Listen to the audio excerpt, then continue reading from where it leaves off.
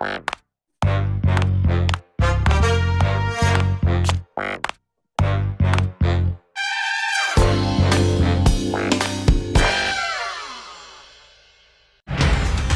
детали. Главные новости Израиля и мира. Здравствуйте, на канале Итон ТВ программа «Тема дня». Сегодня веду я, Михаил Горин. Мой собеседник – украинский политолог Вадим Карасев. Вадим, я вас приветствую. Приветствую всех зрителей Израиля. Спасибо. Э, мы с вами не раз говорили о противоречиях, которые порой возникают между целями, скажем так, Объединенного Запада и, и Украины в отношении того, что такое победа и как к ней ее приближать. Ну вот до сих пор вопросы эти были, обсуждения были абстрактными, а теперь, по-моему, они наполняются конкретикой. Вот Бильд пишет, и не только это, есть и другие газеты, которые реально высказывают такое мнение. Но я взял просто для примера Бильд. Он пишет, что в США и Германии утверждают, что у Украины есть время до осени, чтобы отвоевать оккупированные территории. Если же этого сделать не удастся или удастся, но частично, то давление на Киев относительно начала переговоров с Россией усилят. Есть и другие, еще раз говорю, цитаты из других СМИ со ссылками на конкретные источники. На ваш взгляд, э, э, это что, речь идет уже практически об ультиматуме или нет? Нет, пока об ультиматуме э, речь не идет, э, просто речь идет о разных сценариях и возможных сценариях, или более реалистичном сценарии. Кстати говоря, сегодня такое знаковое э, было, была знаковая колонка Вашингтон-Пост известного политолога и обозревателя CNN Фарида Закария. Ну, это политолог такого мирового, крупного калибра, где он тоже скажем так, выступают э, за то, что победы не будет ни одной из сторон, что придется как-то войну останавливать через замораживание военных действий, боевых, и начинать договариваться. И более того, э, вопрос Крыма и части Донбасса, он рассматривает как спорные территории, которые решение о статусе которых э, можно перенести на будущее. Но, в общем, это когда вступают в бой медийный бой, так, информационный бой, аналитический бой. Вот фигуры такого политологического ну, калибра. Это, извините, это, согласитесь, это достаточно серьезное изменение Абсолютно. позиций по сравнению да. с тем, что было полгода да. назад или даже да. да. назад. Конечно, да. Поэтому, если есть ультиматум, то он такой негласный и, скажем, не публичный, но он под, в другой плоскости. Если Украина рассчитывает на победу, полное поражение России и деоккупацию, освобождение Крыма и всей территории Донбасса, это должно быть успешное весеннее наступление. Успешное военное наступление Украины вот в течение ближайших там двух-трех месяцев. Хотя вот Нью-Йорк Таймс сегодня пишут, что есть сложности с, со сбором танков «Леопард». Не хватает даже на два танковых батальона. Оказалось, не все так просто. Вот это первое. И, во-вторых, если же не получится вот таким, скажем, э, ударным наступлением решить военно-политические задачи, на которых настаивает украинское военное, высшее военно-политическое руководство, то тогда Запад может, ну, скажем так, уменьшить уровень поддержки. Тем более для этого есть и объективные, реальные основания. Вот я сошлюсь опять-таки на Нью-Йорк Таймс по танкам «Леопард». Есть и финансовые, экономические, скажем, ограничения и лимиты.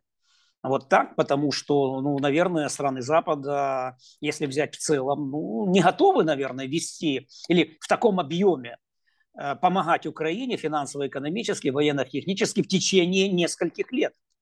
Поэтому Украине надо будет готовиться, по крайней мере, иметь в качестве плана «Б» сценария запасного, который сегодня запасной, а завтра может стать и, скажем, э, главным сценарием, готовится вот к такого рода остановке войны или заморозке конфликта, или прекращение огня, перемирия и тому подобное. Скажите, пожалуйста, не, не складывается ли ситуация, если верить, во-первых, всем этим утечкам и такой позиции Запада, что она существует, что Украину, вольно или невольно, подталкивают к крупному военному наступлению, и, и Украина его начнет, даже, может быть, не будучи готова к этому, а только исходя из вот этих политических установок, скажем так. Ну, я думаю, здесь все-таки э, нервы крепкие у украинского военного руководства для того, чтобы внешнеполитические стимулы так вот, э, делать их приоритетными перед военно-оперативными и военно-стратегическими задачами. Иначе это ждет только Россия для того, чтобы на контрударе, на игре от обороны, затем перейти в наступление, нанося военные потери украинским войскам и э, завоевывая, не дай бог, еще территории. Поэтому наступление должно быть подготовлено, поэтому, кстати, наверное, и речь идет, вот почему речь идет о, об осени потому что, наверное, весна-лето, вот на это дается, скажем так, э, такой срок. Но, в принципе, скажем, Украину ставят перед выбором. Если вы хотите, чтобы Запад и дальше поддерживал Украину, значит, должно быть успешное военное наступление, а затем уже переговоры, но с лучших, по крайней мере, и в целом с позицией превосходства и с позиции силы Украины.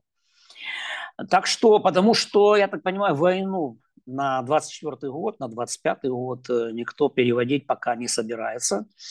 Выборы, кстати говоря, с осени уже выборы в Америке начнутся, праймерис предварительные.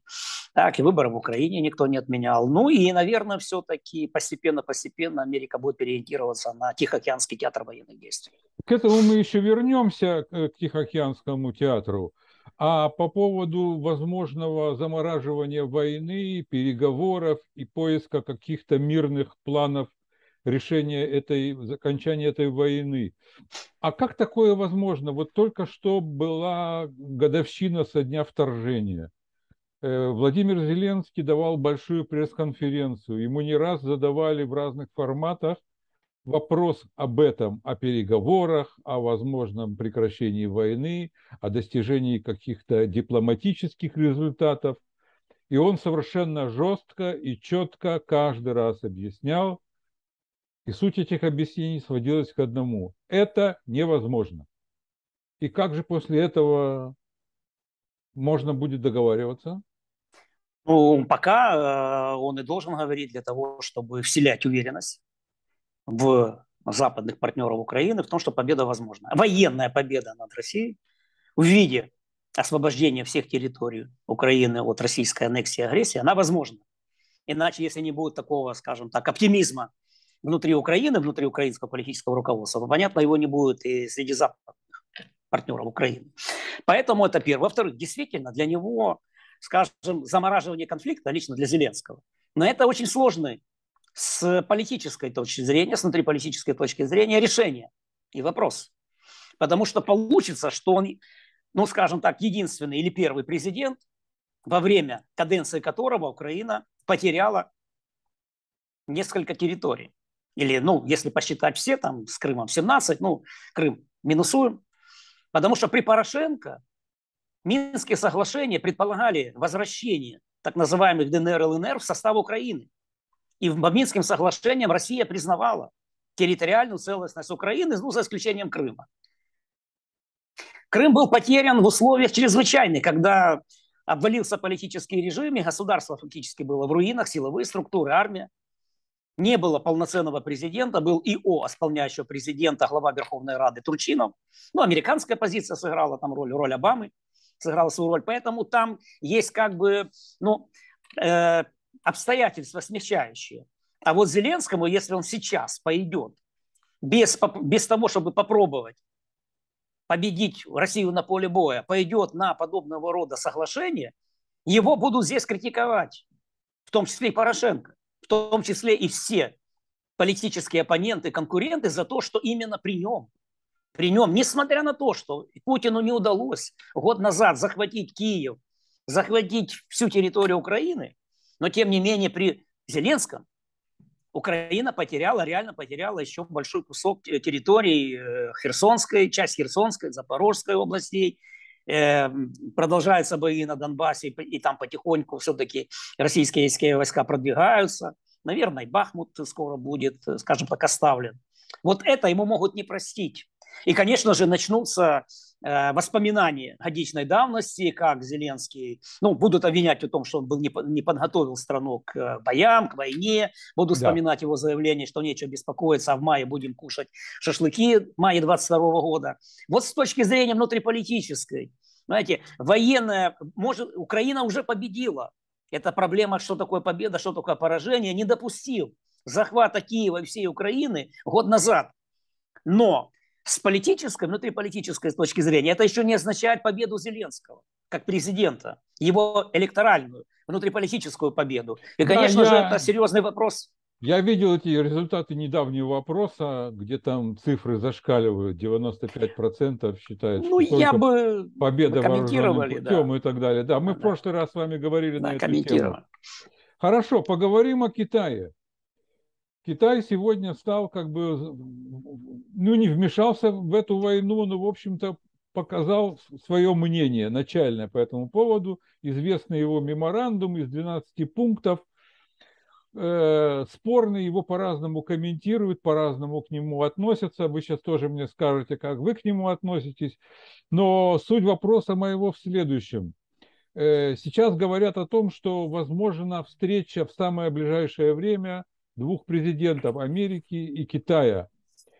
Э, и, как предположение, говорят, что именно там будет решаться то, как поступит в дальнейшем Китай и не обменяет ли он Тайвань на Украину, условно говоря. Но Китай на э, Тайвань на Украину не поменяет, потому что тогда э, Китай лишится военного, э, политического и военно-стратегического сотрудничества с Российской Федерацией. А что в обмен на этот, на этот размен? Что-то скажем так, сделает легче для Китая с точки зрения Японии, Южной Кореи и всего Тихоокеанского региона. Что Байден откажется от этой коалиции, которую он заявил, о которой он заявил в Киеве э, неделю назад, что мы сегодня формируем большую коалицию от Атлантического до Тихого океана. Это просто сдвинет сроки. Так хорошо. Конечно, Китай По вашему может мнению, подготовиться. Возвращаясь а? все, все-таки к Украине, извините, что перебил. Да. Да-да-да. Конкретно, на ваш взгляд, Китай ограничится вот этими мирными принципами, которые он изложил, которые можно сформулировать в целом, ребята, давайте жить дружно, давайте вот мир и все, да. и все, и все. Вот. Да. Или же будет все-таки помогать вооруженно России? Э, пока не будет вооруженно помогать э, России, существенно, по крайней мере. В этом и задача сейчас Соединенных Штатов Америки и к союзникам сдержать военную помощь Китаю. Не более того. Теперь, что касается мирного плана Китая. Ну, Китай мир, э, мировая держава, не могла оставаться в стороне.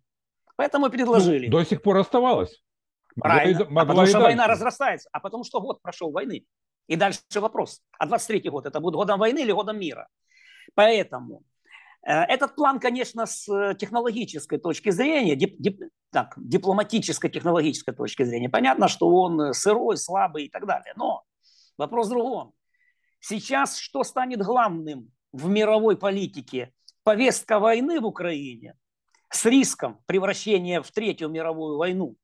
Либо мирная повестка, военная повестка, либо мирная повестка, с тем, чтобы э, снизить риски и вообще возможность наступления Третьей мировой войны. И вот видите, Китай, вот это главное, что он забросил э, мирную повестку, а до этого и Лула, президент Бразилии, забросил эту повестку, так? И страны так называемого не Запада тоже эту повестку поддерживают, перехода от военной повестки к мирной повестке. И это сказывается в том числе на внутризападном общественном мнении, экспертном мнении, о чем мы говорили. Не случайно, что вот эти появляются публикации или утечки Бильд, Вашингтон-Пост, Фаридом Закари в Нью-Йорк Таймс и так далее. Вот в этом главное, что Китай начинает уже демонстрировать свою роль как мировой державы, Второе, как мирной державы, настроенной на мир и ограничение возможностей или снижение риска Третьей мировой войны на фоне Запада, который как бы еще продолжает жить, Америка и западная коалиция продолжают жить в военной повестке. Но и постепенно-постепенно ситуация идет к тому, чтобы военная повестка 22 года трансформировалась в мирную повестку. А вот отсюда уже разные формы будут. Перемирия, мирных планов – Ну, папа Франциск тоже вчера высказался так о мирном плане. Но вот пока пошла такая серия, Саудовская Аравия, вот пошла такая как бы серия со стороны или, ну, скажем, таких э, ключевых мировых институций, как там католическая церковь, либо стран э, Востока, так, Ближнего Востока, в целом э, Восточной Азии, с переводом э, повестки войны, поскольку война в Украине может трансформироваться в большую мировую войну, и в том числе и с ядерным фактором. Так, ну, путинское выступление нас мы не успеем сегодня проанализировать, но оно же тоже об этом было, когда он заявил о приостановке участия России в СНВ-3. Поэтому вот в чем значение э, вот этого мирного плана Китая как э, мировой державы, претендующей на моральное миротворческое лидерство в современном мире. Ему война не надо. Тайвань не так. Де юре, скажем так, в рамках формулы э, «один Китай», так, при, скажем так, выгодно для Китая. Китай же, Тайвань же находится с точки зрения международного права, это территория Китая. Так. Что касается Украины э, и России, вот продемонстрировать то, что э, сегодня можно прекратить огонь, начинать, э, скажем так, переговоры и так далее. Другое дело, что, конечно, Америка не могла с этим согласиться, потому что как бы миротворческую, вот эту мирную повестку перехватил Китай. Ну как можно соглашаться? Это значит уступить моральное лидерство по крайней мере, моральное лидерство Китаю. А во-вторых, э, Украина отказалась, потому что э, начало переговоров без предварительных условий означает, что мы должны де-факто начинать с потери территорий, которые сегодня оккупированы и аннексированы Российской Федерацией. Это не подходит. Украине тем более расчет на военную победу, на то, чтобы выиграть полностью все. Идти в банк и сорвать джекпот. И военный, и внутриполитический, электоральный для Зеленского. Вот же, вот же это главная его, скажем так, идея, его установка. Ну и в-третьих, э, все-таки э, Запад и США э, и Запад дают Украине еще один шанс на то, чтобы достичь э, военной, большой военной победы. Но если этот шанс не будет реализован, тогда будет сближаться позиции США-Запада и позиции Китая по, э, э, по войне в Украине. Скажите, пожалуйста, на ваш взгляд, вот это вот э, китайско-американское соревнование, о котором вы упомянули, оно на руку Украине? Ну, на данном случае, в данном случае, на данном этапе, когда есть вера, я бы даже сказал вера, так, не просто, скажем, ну, расчеты, а вера в большую и окончательную победу над Россией с освобождением всех территорий не на руку. Это как бы мешает это мешает в том числе и в борьбе за общественное мнение, общественное влияние, э, внимание стран не Запада, где позиции, скажем так, России достаточно сильны, несмотря там на резолюции Генеральной Ассамблеи ООН.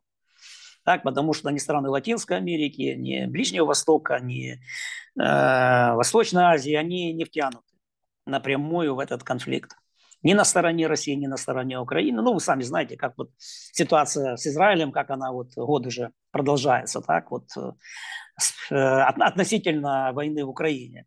Вот поэтому, конечно, на данном этапе это невыгодно. Но, а может случиться так, давайте все-таки не исключать такую возможность, что когда понадобится, скажем так, более объективные какие-то арбитры, так, то, может быть, роль Китая тут будет и не лишней учитывая то, что все-таки, э, скажем так, я бы не сказал, что Китай э, занимает пророссийскую позицию.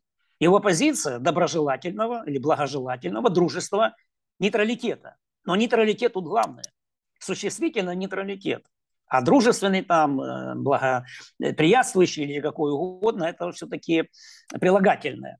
Так что сейчас эта позиция, конечно, не к месту не к месту китайская позиция, поэтому и Зеленский, и Украина э, не приняла вот этот план. Причем Зеленский высказался очень осторожно, а вот его ближайшее окружение разгромило этот план. Так, его ближайшие, скажем так, советники и ближайшие политические координаторы э, с офиса президента, они разгромили этот план, фактически отказавшись. Так? Но Э, Украина понимает, что роль Китая достаточно серьезная, ее нельзя игнорировать. Не случайно Зеленский на пресс-конференции говорил о том, что он готов встретиться с Си Цзиньпином. Вадим, спасибо, что были с нами, за ваши комментарии. На этом все. Напомню, что моим собеседником сегодня был украинский политолог Вадим Карасев. До свидания. Спасибо, Михаил.